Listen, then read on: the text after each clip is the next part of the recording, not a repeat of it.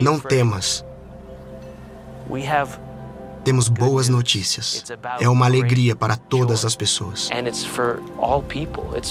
E é para você, para todos que você conhece e todos que não conhece, para todos que existem e virão a existir, um Salvador na forma da coisa mais vulnerável do mundo.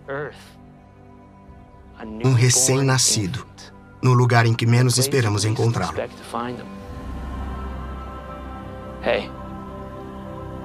E seja você quem for, e conhecendo ou não,